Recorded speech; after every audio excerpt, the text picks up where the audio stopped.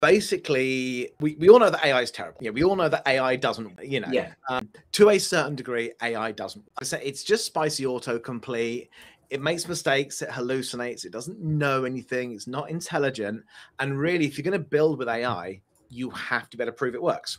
And Okay. the way you do this is, and this is, it sounds a bit backwards when you think about it, but the way you do this is you get an AI to test your AI. Step one, AI test your AI. And then step two, you accept a lower pass rate. If you're building an AI chatbot for a bank, you want to make sure that it's not going to say, oh, yes, you should buy shares in this, because, you know, financial advice is not a good thing for an AI to be doing. Um, Yeah. So if you have some kind of test to validate that, you'd want to get, you know, 99% pass rate on that because this is regulatory Mhm. requirements.